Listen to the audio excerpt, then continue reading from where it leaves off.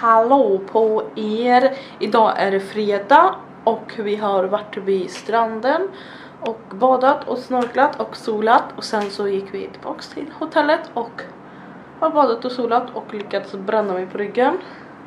Lite på axlarna. Eh, och rumpan och lite så men ingenting i ansiktet vilket är jättekonstigt.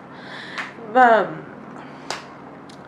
nu, jag har precis duschat och Karl håller på att göra sig i ordning och vi ska dra oss mot stan idag och kika lite och äta lite ute tänkte vi. Och ja, vi får väl se. Jag ska nog ta med mig kameran och filma lite men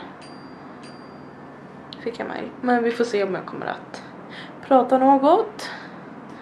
Men ja, nu ska jag i alla fall börja fixa i ordning mig. Så häng med!